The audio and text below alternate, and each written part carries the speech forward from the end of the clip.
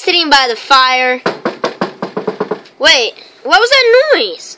Oh my gosh! It's our family. We just got an elf on the shelf.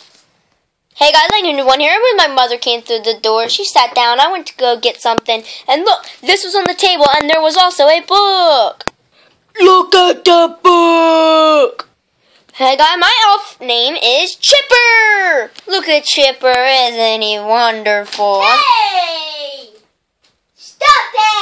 Yeah, my cat's my cat's being annoying. I agree with you. Did he just talk? Actually, no, guys. I know I did it, but anyway, yeah. So, guys, his name is Chipper. Hope you like Chipper the Elf. Let me do more videos, and and I'll see you guys later. Chipper is awesome. Um, I didn't say that.